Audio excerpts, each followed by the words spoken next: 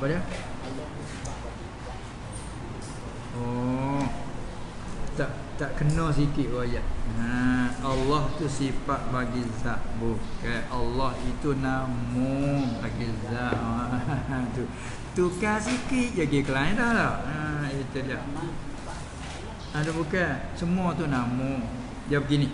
Ha, nah. Allah itu ha, nak nak pesah ni, nak pesah tengok. Ha, apa kita ada berzikir dia nak baca baca dengar. Nak tak ni? Ha, apa kita masuk baca Fatihah dia tu juit dah. Jadi uh, kalau kita kata Allah itu sifat bagi zat. Kena ke tak? Ha, kurang sikit.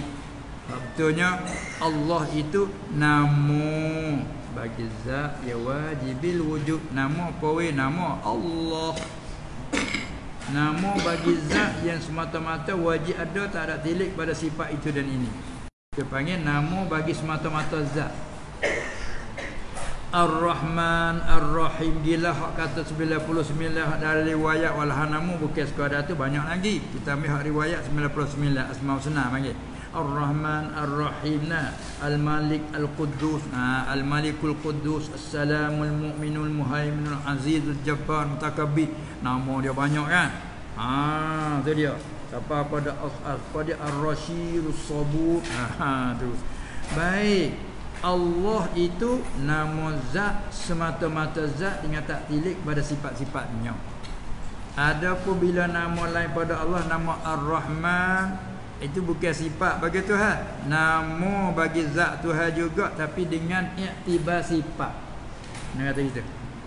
Begitulah Ar-Rahim, Ar-Al-Ghafur, apa Al-Ghaffar tu. Nama bagi zat Tuhan semua tapi dengan tilik pada sifat.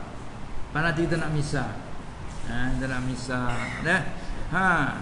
Beranak apa dia anak jatuh nak tak nama apa duk faya dulu boleh anak jatuh nak tak nama Abdullah. Ha nah Pah boleh anak jatuh Letaklah nama Abdullah Kita letak sendiri ke Suruh orang letak ke Tok letak dan sebagainya. Bila letak nama ke ah, Letak sini Samaikallah Abdullah.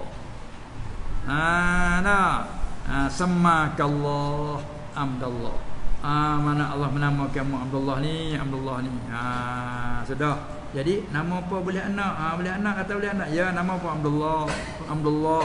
Ha, tu apa? Abdullah. Nama bagi anak kita ini. Anak pertama anak sulung.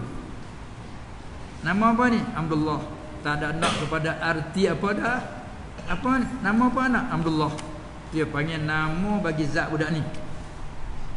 Lepas tu anak-anak kita tu mengaji weh. Ha mengaji. Siapa pandai? Alim. Abdullah tadi. Tubik tubik budak namanya Alim. Saleh berjuruh budak ni. Ha nama dia juga. Nama dia tilik kepada sifat kebaikan dia panggil Saleh. Tilik pada sifat dia ni pandai alim. Ha, pahala ni pada segi mana? Segi boleh mengubahkan orang ha, doktor, tabib, bomo. Ha tu nama gelar tilik pada sifat dia kerjaan. Cuba nama Allah Taala Al-Khaliq tilik pada dia yang menjadi semuanya. Ha maka mustaq daripada khalq makna menjadi Allah Khaliq namanya. Nama dia semua.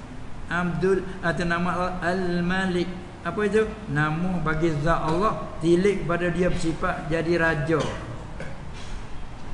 ha lahul mulk baginya kerajaan hakiki dialah sifat sifat dialah kerajaan. Tu baik namanya al malik sebab kita nama abdul malik. Begitulah. Jadi simpulnya Allah nama bagi zat semata-mata dengan tak silih pada sifat-sifat lain. Manakala Ar-Rahman Ar-Rahim tilik pada Allah bersifat dengan murah. Nama Rahman. Allah bersifat dengan kasih sayang kamarnya Panggil Rahim. Ha, Zat dengan ibadah sifat Nah itu. Baik